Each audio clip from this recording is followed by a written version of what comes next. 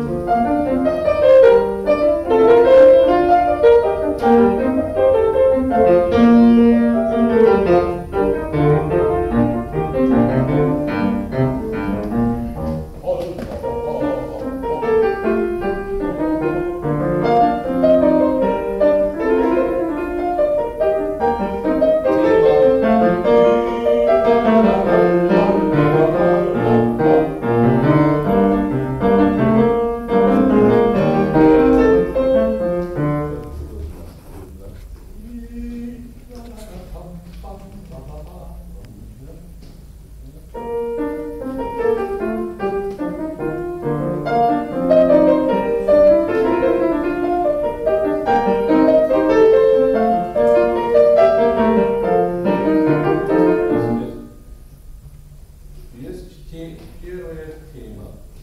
actum rei intermezzo preti ad bas tema